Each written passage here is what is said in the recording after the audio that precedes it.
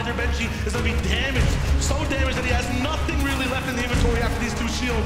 It's going to be an all-in from this team, and they have another big one to deal with on low grounds. That's the Benji we know, and no, Benji with five eliminations gets wiped out. It's Teeq with a two-piece. Cammy's the big dogs are here to play, and Cammy said in Teeq are defending the throne. You're gonna have to snatch the crown off their head. It's not gonna be. Yes, the deal goes down. Now it's a 3v